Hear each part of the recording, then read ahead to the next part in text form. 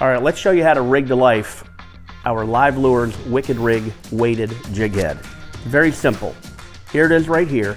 Instead of tying off at the head like you normally do, you're just gonna feed the line in the direction it goes. Right through the head, here it is like this. On the tag end, we've got two hitches. We've got a bait hitch and we've got a hooked hitch. We'll go over both of those here in a minute. You're gonna tie one on. I'll tie a bait hitch on. I've already got it tied on for you. And here you go, okay? You're gonna feed the worm through exactly how you do any worm hook. But once you feed that line through, you tie that bait hitch on, you stick the bait hitch in the end, just like you normally would any other bait hitch, and there it is. It's as simple as that. There's nothing hard about this. You can pull it a little bit, like the worm is barely moving, or you can click, click, and if you pull this up and it clicks the top, you'll be able to feel that on the end of your line. And it's awesome.